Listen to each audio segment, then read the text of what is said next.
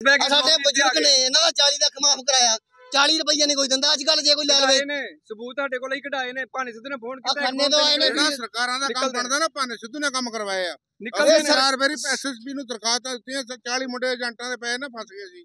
ਸਰਕਾਰਾਂ ਨੂੰ ਵਾਪਸ ਕਰਵਾਇਆ। ਸਰਕਾਰਾਂ ਨੂੰ ਕੰਮ ਭਾਨੇ ਸਿੱਧੂ ਨੇ ਕਰਨਾ ਕੰਮ ਪੈਣਾ ਤੇ ਕੰਮ। ਅਸੀਂ ਕਰਾਉਣਾ ਜਾਣਦੇ ਆ ਹੁਣ। ਤੋਂ ਅਸੀਂ ਵੱਡੇ ਪੱਧਰ ਤੇ ਸਾਰੇ ਇਕੱਠੇ ਹੋਵਾਂਗੇ ਵੀਰ ਕਿਸਾਨ ਵੀਰ ਪ੍ਰਧਾਨ ਸਾਹਿਬੇ ਜਿੱਦਾਂ ਕਾਨੂੰਨੀ ਕਾਰਵਾਈ ਹੋਣੀ, ਉਹ ਕਰਾਂਗੇ, ਜਿੱਦਾਂ ਜਿੱਦਾਂ ਅੱਗੇ ਮਤਾ ਪਾਸ ਹੋਊਗਾ, ਕਰਾਂਗੇ। ਅਸੀਂ ਭਾਨੇ ਸਿੱਧੂ ਬਾਰੇ ਆਏ ਹਾਂ ਜੀ। ਭਾਨੇ ਸਿੱਧੂ ਨੂੰ ਨਜਾਇਜ਼ ਪਰਚੇ ਪਾ ਕੇ ਇੱਥੇ ਲਿਆਤਾ ਗਿਆ ਹੈਗਾ। ਅਸੀਂ ਉਹਨਾਂ ਦੇ ਸਬੰਧ ਦੇ ਵਿੱਚ ਇੱਥੇ ਪਹੁੰਚੇ ਹਾਂ।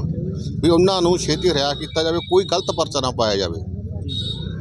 ਪਰਚੇ ਉਹਨਾਂ ਦੇ ਪੈਂਦੇ ਆ, ਜਿਹੜੇ ਗਲਤ ਖੇਮੀਆਂ ਕਰਦੇ ਨੇ, ਜਿਹੜਾ ਏਜੰਟ ਠੱਗੀਆਂ ਮਾਰ ਕੇ ਲੋਕਾਂ ਦੇ ਦਿਲ ਦਰਸਾਈ ਜਾਂਦੇ ਨੇ, ਬੁੜੀਆਂ ਕੁੜੀਆਂ, ਸਾਰਾ ਪਰਿਵਾਰ ਰੋਂਦਾ ਹੈ।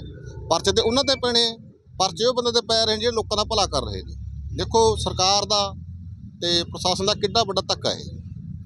ਤੇ ਕਿਉਂ? ਅੱਜ ਤੁਸੀਂ 7 ਨੰਬਰ ਥਾਣੇ ਪਹੁੰਚੇ ਹੋ, ਪ੍ਰਸ਼ਾਸਨ ਨਾਲ ਕੀ ਗੱਲਬਾਤ ਹੋਈ ਤੁਹਾਡੀ? ਗੱਲਬਾਤ ਤਾਂ ਸਾਡੀ ਇਹ ਹੋਈ ਸਾਨੂੰ ਟਾਈਮ ਅੱਧੇ ਘੰਟੇ ਦਾ ਉਹਨਾਂ। ਨੇ ਵੀ ਅੱਧਾ ਘੰਟਾ ਵੇਟ ਕਰੋ ਤੁਹਾਡੇ ਨਾਲ ਕੋਈ ਗੱਲਬਾਤ ਕਰਦੇ ਆ। ਤੇ ਹਲੇ ਹੋਰ ਕੋਈ- ਹੋਰ ਕੋਈ ਗੱਲ ਨਹੀਂ ਸਾਡੀ ਹਲੇ ਦੇਖੋ ਜੀ ਸਾਨੂੰ ਕਾਲ ਆਈ ਸੀ। ਕਾਲ ਨੂੰ ਦੇਖਦਿਆਂ ਆਇਆ ਸਾਡੀ ਜਥੇਬੰਦੀ ਹੋਰ ਜਥੇਬੰਦੀਆਂ ਸਮਾਜ ਸੇਵੀ ਜਾਂ ਸਾਰੇ ਛੋਟੇ ਤੋਂ ਵੱਡੇ ਸਾਰੇ ਆਏ ਜਿਹੜੇ ਭਾਨੇ ਸਿੱਧੂ ਵੀਰ ਨੂੰ ਪਿਆਰ ਕਰਦੇ ਆ। ਤੇ ਜੋ ਸਰਕਾਰ ਨੇ ਜਾਂ ਪ੍ਰਸ਼ਾਸਨ ਨੇ ਜਾਂ ਧੋਖੇਦਾਰ ਏਜੰਟਾਂ ਦੇ ਮਗਰ ਲੱਗ ਕੇ ਕੋਈ 10000 ਰੁਪਏ ਦੀ ਕੋਈ ਬਹੁਤੀ ਰਕਮ ਵੱਡੀ ਨਹੀਂ ਆ। ਉਹ ਐਡਾ ਵੱਡਾ, ਉਹਦੇ ਖਿਲਾਫ ਇੱਕ ਵੀ ਕੋਈ ਸਬੂਤ ਕੱਢ ਦੇਣ ਤੇ ਅਸੀਂ ਜਿੰਨੇ ਵੀ ਸਾਰੇ ਆਏ ਆ ਨਾ, ਜੋ ਸਰਕਾਰ ਕਹੇਗੀ, ਜੋ ਪ੍ਰਸ਼ਾਸਨ ਕਹੇਗਾ, ਅਸੀਂ ਸਜ਼ਾ ਭੁਗਤਣ ਨੂੰ ਤਿਆਰ ਆ।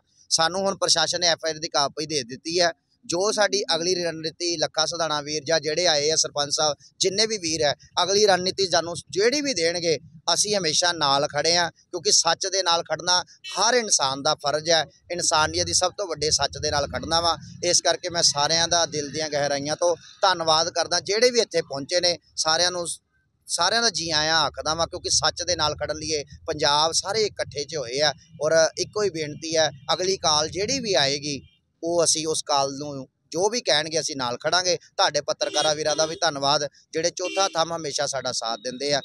ਮੇਰਾ ਬੇਟਾ ਅ, ਰੁਦਰਾਸ਼ਕ ਵਾਲੇ ਮੋਹਾਲੀ ਇੱਕ ਫੇਚ ਨੇ। ਬੜੇ ਮਸ਼ਹੂਰ ਨੇ ਉਹ ਠੀਕ ਹੈ ਜੀ? ਉਹਨਾਂ ਦੇ ਬੜੇ ਪੈਸੇ ਫਸੇ ਹਨ। ਅਸੀਂ ਭਾਨਾ ਸਿੱਧੂ ਕੋਲ ਬੁੱਧਵਾਰ ਗਏ ਆ ਉਹਨਾਂ ਨੇ ਇੱਕ ਫੋਨ ਕੀਤਾ ਏਜੰਟ ਨੂੰ। ਉੱਥੇ ਸੇਠੀ ਸੇਠੀ ਉਹਨਾਂ ਦਾ ਆਰਡਰ ਹੈ ਸਭ ਤੋਂ ਵੱਡਾ। ਉਹਨੂੰ ਕਹਿ ਵੀ ਇਹਨਾਂ ਦੇ ਪੈਸੇ ਦੇਣੇ ਕਿ ਨਹੀਂ ਦੇਣੇ? ਭਾਨਾ ਸਿੱਧੂ ਜੀ ਇੱਕ ਸਿਪ ਤੇ ਇਹ ਕਹਿ ਦਿੰਦੇ ਨੇ ਹਾਂ ਵੀ ਗੱਲ ਕਰਨੀ ਕਿ ਨਹੀਂ ਕਰਨੀ? ਪੈਸੇ ਮੋੜਨੇ ਕਿ ਨਹੀਂ ਮੋੜਨੇ? ਹਾਂ ਜਾਂ ਨਾ? ਬਸ ਦੂਜੀ ਗੱਲ ਨਹੀਂ ਕਰਦੇ। ਅਸੀਂ ਉਹਨਾਂ ਕੋਲ ਪਹੁੰਚੇ ਆ ਉੱਥੇ ਜਦੋਂ ਇੱਕ ਬੰਦਾ ਹੋਰ ਫੋਟੋ ਸਟਾ ਕਰਾਉਣ ਡਿਆ ਸੀ ਮੈਨੂੰ ਪੁੱਛਿਆ ਮੈਂ ਭਾਈ ਜੀ ਆਪਣਾ ਨੰਬਰ ਦੇ ਦਿਓ। ਉੱਥੇ ਕਾਲੇ ਕੋਟਾਂ ਵਾਲੇ ਬੰਦੇ ਫਿਰਦੇ ਸੀ, ਉਹਨੇ ਮੈਨੂੰ ਧੱਕਾ ਮਾਰਿਆ, ਭੈਣ ਦੀ ਗੱਲ ਕੱਢਤੀ ਅਸੀਂ ਫਿਰ ਖੁੱਲ ਗਏ, ਉੱਥੇ ਮੀਡੀਆ ਪਹੁੰਚਿਆ, ਠੀਕ ਹੈ? ਔਰ ਉਹ ਆਖਣਗੇ ਸਦਾ ਜੀ, ਬਹਿ ਕੇ ਆ ਕੇ ਗੱਲ ਕਰ ਲਓ, ਤੁਹਾਡੇ ਪੈਸੇ ਮੋੜ ਦਿੰਨੇ ਆ ਉਸੇ time at a time 18 lakh 10000 ਰੁਪਏ ਮੈਂ ਆਪਣੇ ਬੇਟੇ ਦਾ, ਠੀਕ ਹੈ? 7 ਲੱਖ ਰੁਪਏ ਇੱਕ ਅਨੂ ਕੁੜੀ ਰਾਜਪੁਰੀ, ਉਹਦਾ, ਇੱਕ ਬੱਦੀ ਦਾ ਮੁੰਡਾ ਏ, ਮੁਸਲਮਾਨਾਂ ਦਾ। 18 ਲੱਖ ਰੁਪਏ ਉਹਦਾ, ਉਸ ਟਾਈਮ ਅਸੀਂ 60 ਲੱਖ ਰੁਪਏ ਉੱਥੇ ਬਹਿ ਕੇ 5-5 ਲੱਖ ਦੇ ਚੈੱਕ ਦਵਾ ਕੇ ਫਿਰ ਮੈਂ ਉੱਥੋਂ ਉੱਠਿਆ ਸਾਂ, ਠੀਕ ਹੈ?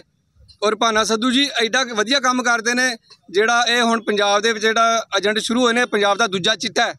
ਇੱਕ ਚਿੱਟਾ ਖਤਮ ਨਹੀਂ ਹੋਇਆ, ਪਰ ਦੂਜਾ ਚਿੱਟਾ ਸ਼ੁਰੂ ਹੋ ਗਿਆ ਏਜੰਟਾਂ ਵਾਲਾ, ਜਿਨ੍ਹਾਂ ਨੇ ਸਾਰੇ ਘਰ ਬਰਬਾਦ ਕਰਦੇ ਨੇ ਜ਼ਿਮੀਂਦਾਰ ਆਪਣੇ ਲੋਨ ਕਰਾਉਂਦੇ ਨੇ, ਜ਼ਮੀਨਾਂ ਵੇਚਦੇ ਨੇ, ਟੂਮਾ ਗਹਿਣੇ ਪਾਉਂਦੇ ਨੇ, ਔਰ ਬੱਚੇ ਬਾਹਰ ਭੇਜਦੇ ਨੇ। ਪਰ ਉਹਨੂੰ ਰੋਕਣ ਵਾਸਤੇ ਸਰਕਾਰ ਸਹਿਮਤ ਨਹੀਂ ਹੁੰਦੀ, ਕਿਉਂ? ਜਿਹੜੇ ਏਜੰਟ ਨੇ ਨਾ, ਇਹਨਾਂ ਦੇ ਸਰਟੀਫਿਕੇਟ ਬਣਦੇ ਨੇ। ਇਹ ਡੀਸੀ ਦਫ਼ਤਰ ਤੋਂ ਨਾ ਇਹਨਾਂ ਦੇ ਮਾਰਕ ਹੁੰਦੇ ਮਾਰਕ ਹੁੰਦੇ ਨੇ ਸਾਲ ਬਾਅਦ 2 ਸਾਲ ਬਨਿਊ ਹੁੰਦੇ ਨੇ। ਜਿਹੜਾ ਗਲਤ ਕੰਮ ਕਰਦਾ ਸਰਕਾਰ ਉਹਨਾਂ ਦੇ ਏਜੰਟ ਕਿਉਂ ਨਿਊ ਕਰਦੀ ਏ? ਡੀਸੀ ਆਪ ਕਰਦਾ ਨਿਊ ਉਹਨੂੰ ਆਰਡਰ ਹੋਣਾ ਚਾਹੀਦਾ ਜਿਹੜਾ ਏਜੰਟ ਗਲਤ ਇੱਥੇ